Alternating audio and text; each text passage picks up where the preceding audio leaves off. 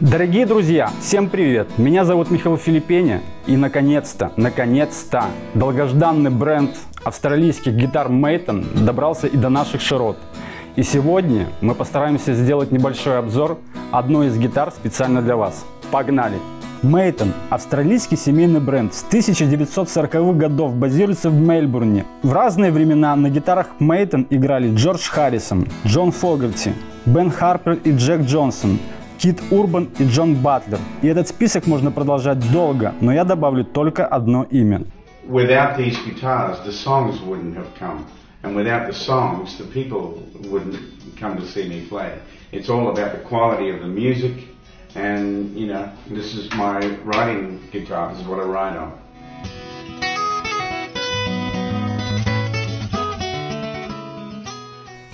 Любимый всеми дедушка Томми Мануэль говорит про серию этих гитар примерно следующее, что выбор музыкального инструмента – это лично дело каждого музыканта. Он играет на гитарах фирмы Мейтон, потому что, по его мнению, там стоят самые лучшие звукосниматели на сегодняшний день. И он играет на этих гитарах не потому, что он австралиец, а потому что, по его мнению, это прекрасный баланс качества сборки, звукоснимателей и микрофонов. Именно его подписной электроакустической гитаре Maton EBG 808 TEC посвящен сегодняшний обзор. Неважно, молодой ты гитарист, либо гитарист со стажем, либо ты просто коллекционер, который просто любит хорошие вещи. Эта гитара, безусловно, подойдет каждому. На ней можно исполнять от кантри до джаза, от поп-музыки до рока. Гитаристам, практикующим фингерстайл, можно вообще не рассказывать про этот инструмент. Они знают о всех плюсах и минусах этой гитары.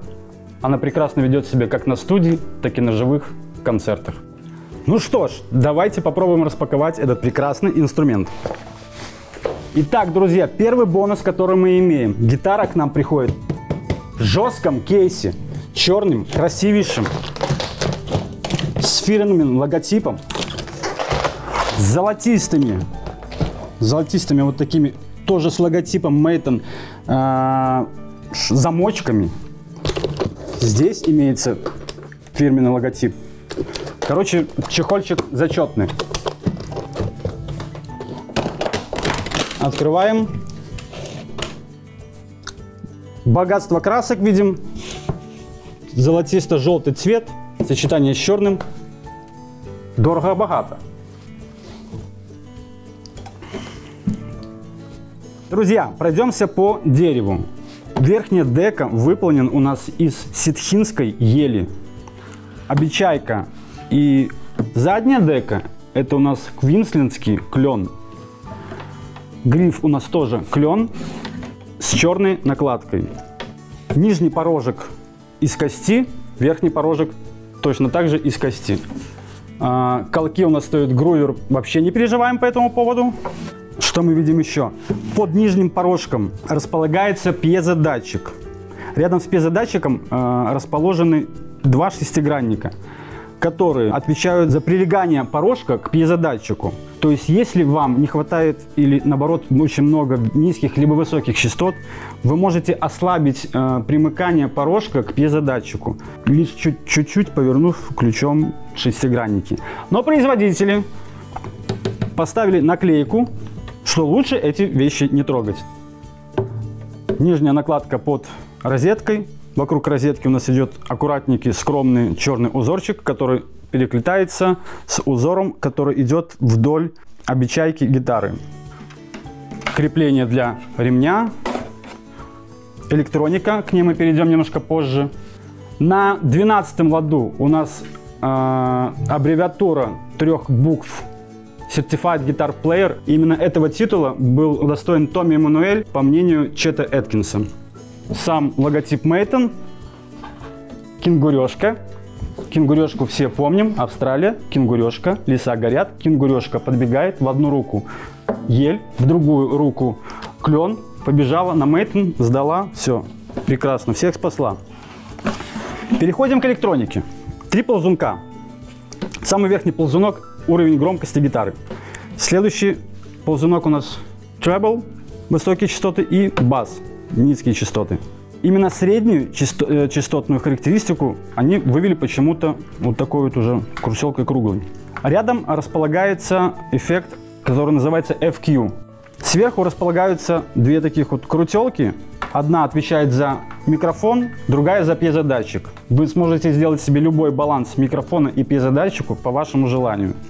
Отдельное спасибо, отдельно, вот чисто вот от, от меня. Для батарейки прекрасный, удобный, удобная такая открывашка.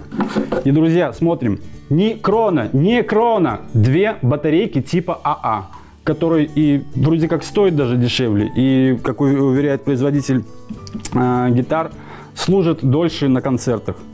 Все удобно он засунул, достал, поменял, засунул, достал, поменял, засунул, достал, поменял. Вы поняли. Все.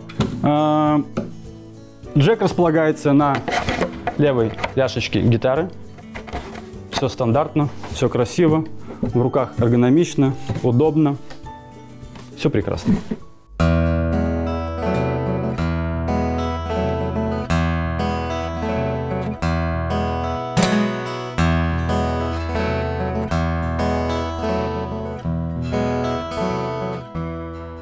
Маленьким, но приятным бонусом идет вместе с гитарой струны эликсир, которые уже стоят на гитаре, приходят к вам, все прекрасно, знаем. Струны эликсир в обмотке, долго стоят, э, а потом дальше вы уже сами.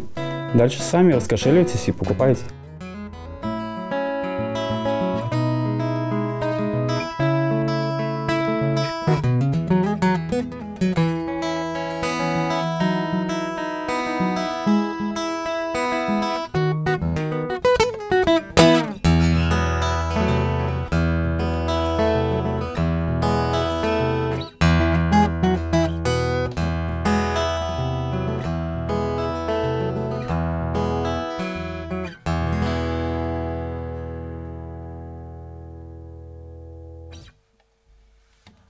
Ну что, первое впечатление э, после игры на гитаре – это действительно баланс низких и высоких частот. Он действительно соблюден каким-то правильным образом.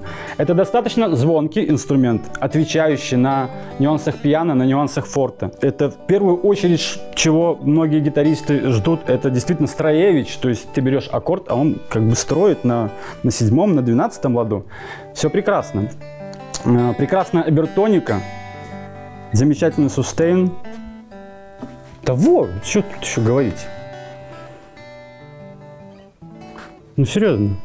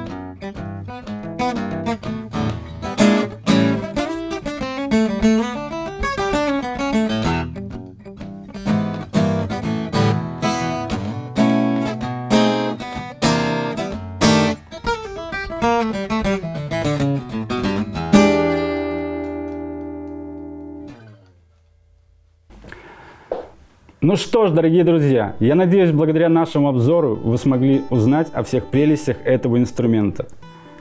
Этот инструмент не дешевый, этот инструмент класса люкс. Но мы понимаем, что хорошие вещи должны стоить. И это не инструмент на 2-3 года. Покупая эту гитару, вы обрекаете себя на жизнь вместе с ней на долгие-долгие годы. И поверьте, вы будете есть с ней, спать с ней, пить с ней, радоваться жизни.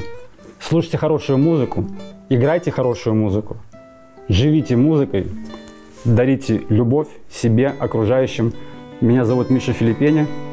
Спасибо и до новых встреч.